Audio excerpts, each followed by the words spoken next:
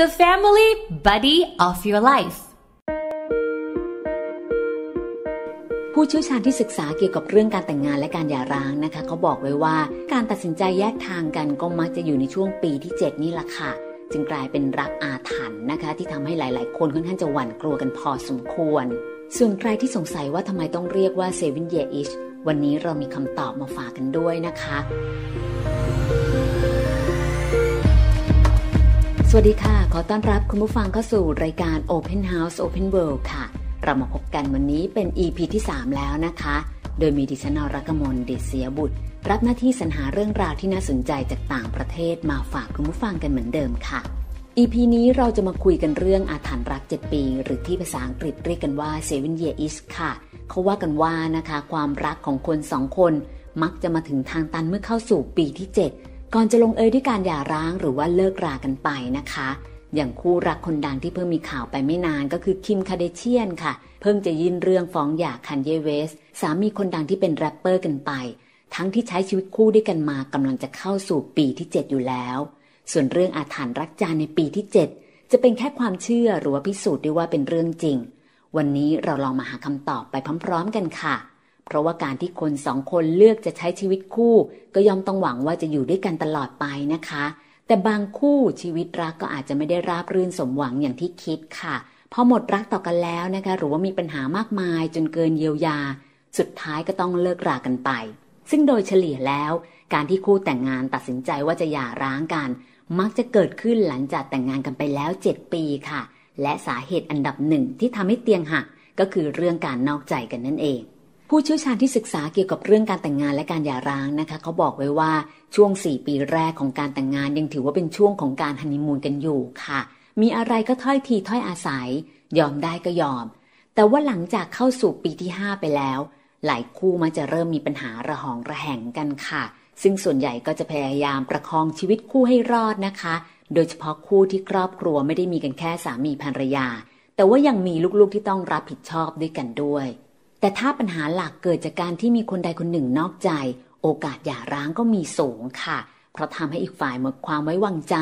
หมดศรัทธาในความรักที่เคยมีให้กันค่ะ เรียกว่าไม่เหลือความรู้สึกดีๆ ต่อกันแล้ว ก็ต้องลงเอยด้วยการเลิกรากันไป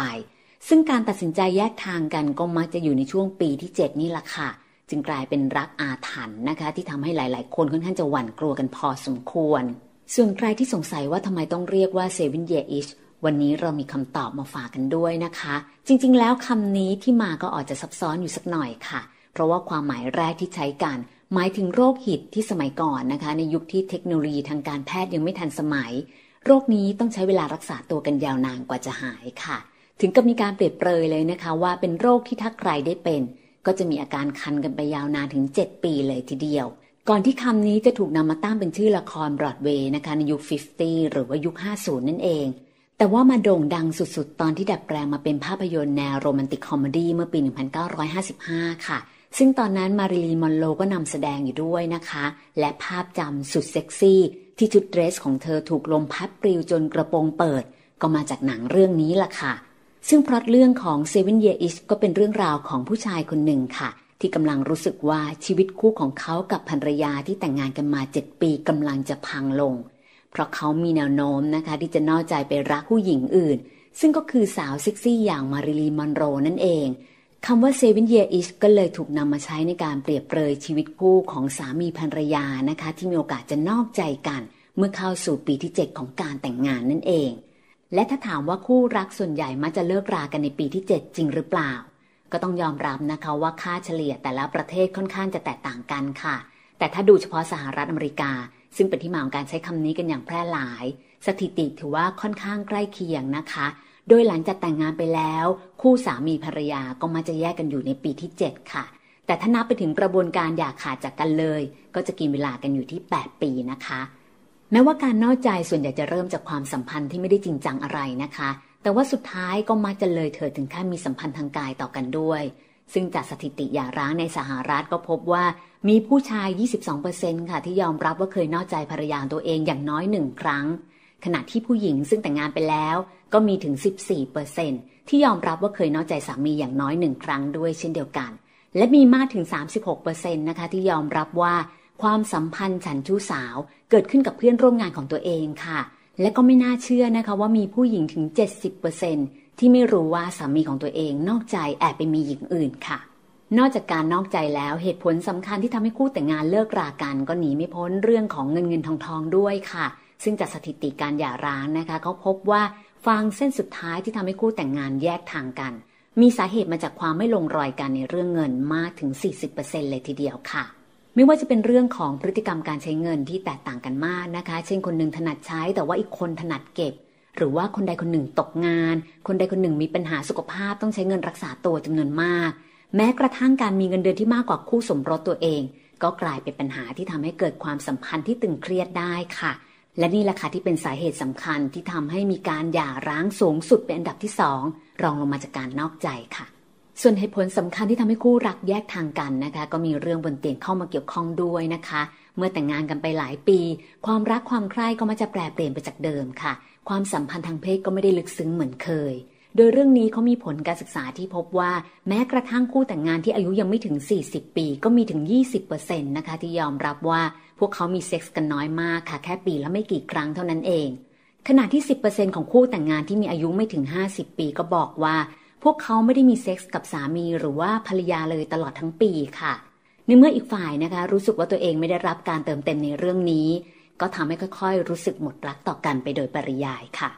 ขณะที่การสื่อสารระหว่างกันก็เป็นสิ่งสำคัญที่ชี้วัดได้ว่าชีวิตคู่จะไปรอดหรือเปล่านะคะ ถ้าคู่ไหนมีอะไรก็ไม่คุยกัน มีปัญหาก็ปิดบังไม่ยอมเคลียร์กันให้เข้าใจ หรืออยากจะขอคำปรึกษาแต่ว่าอีกฝ่ายไม่สนใจ หรือไปใส่อารมณ์จนคุยกันไม่รู้เรื่องนะคะ ก็มีแนวโน้มที่จะบานปลายจนนำไปสู่การหย่าร้างได้เช่นเดียวกันค่ะ นอกจากนี้การแต่งงานเร็วก็เป็นอีกสาเหตุหนึ่งที่ทำให้ชีวิตคู่ของหลายคนไปไม่รอดนะคะ ซึ่งเขามีสถิติที่พบว่าคู่ที่แต่งงานกันตอนอายุ 20 ต้นๆ มีเกือบครึ่งค่ะที่มักจะแยกทางกันหลังจากอยู่ด้วยกันไม่ถึง 10 ปี เหตุผลหลักๆ ก็เป็นเพราะว่ายังไม่พร้อมสร้างครอบครัวด้วยกันจริง ๆ ค่ะ และส่วนใหญ่มันจะมีปัญหาทะเลาะเบาแว้งกันด้วยเรื่องเงินมากกว่าเรื่องอื่นๆ เพราะว่าเป็นช่วงที่กำลังสร้างเนื้อสร้างตัวนะคะ แล้วก็มักจะมีปัญหาเรื่องการสื่อสารต่อกันด้วยทำให้ผิดใจกันได้ง่ายค่ะ แต่การแต่งงานช้าก็ใช่ว่าจะดีนะคะ เพราะว่างานวิจัยโดยนิโคลัสวอฟฟิงเกอร์อาจารย์จากมหาวิทยาลัยยูทาห์ในสหรัฐค่ะ พบว่าคู่ที่แต่งงานหลังจากอายุ 32 ปีไปแล้วนะคะ จะมีแนวโน้มหย่าร้างกันมากขึ้นปีละ 5%เลยทีเดียว พร้อมทั้งแนะนำด้วยค่ะว่าช่วงอายุที่เหมาะสำหรับการแต่งงานมากที่สุด คือช่วงอายุ 20 ปีปลายค่ะ เพราะว่ามีเปอร์เซ็นต์หย่าร้างน้อยที่สุดนั่นเอง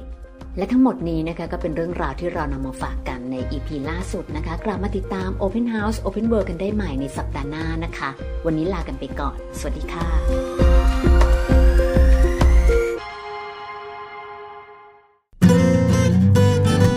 The